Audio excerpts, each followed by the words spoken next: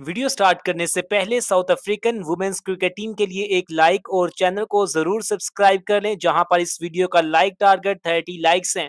ICC women's T world cup का बारहवां match South Africa women's versus Scotland women's के दरमियान दुबई क्रिकेट इंटरनेशनल स्टेडियम में खेला गया। साउथ अफ्रीकन वुमेन्स ने टॉस जीतकर पहले बैटिंग करने का फैसला किया।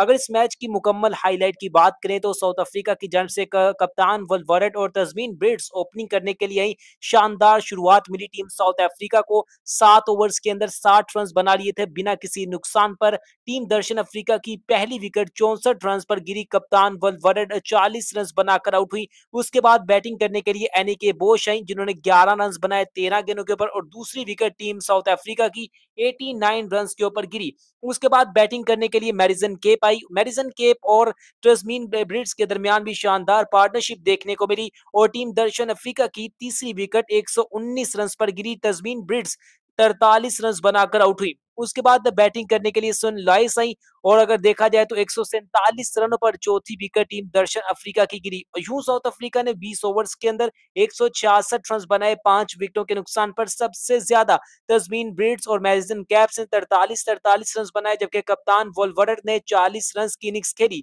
बॉलिंग की बात करें तो टीम स्कॉटलैंड की जानब से एक विकेट स्लेटर ने हासिल की, एक विकेट कैथराइन ब्राइस ने, एक विकेट ही ओलिविया बेल ने, जबकि एक एक विकेट कैथराइन फ्रेजर और डार्सी कार्टर ने हासिल की। टारगेट को चेस करने के लिए टीम स्कॉटलैंड की वुमेन्स टीम ओपनिंग बल्लेबाजी के लिए सस्किया, हरले और सारा ब्राइस आई स्टार्ट कोई बढ़िया न रहा। पहली विकेट चौदह रन पर गिरी, जबकि दूसरी विकेट सोलह रनों पर गिरी। तीसरी विकेट तीस रन पर गिरी और यूँ टीम स्कॉटलैंड की सात विकेटें छप्पन रन पर गिर चुकी थी। अगर देखा जाए तो स्कॉटलैंड की टीम को चौंतीस गेंदों पर मजीद नब्बे रन चाहिए थे, सत्तर रन बना लिए थे, आठ विकेटों के नुकसान पर, चौदह ओवर्स और दो गेंदों के बाद मैच पूरा पक्ष में था टीम साउथ अफ्रीकन वुमेन्स की। तो वीडियो को लाइक कीजिएगा, चैनल को लाजमी सब्सक्राइब कीजिएगा।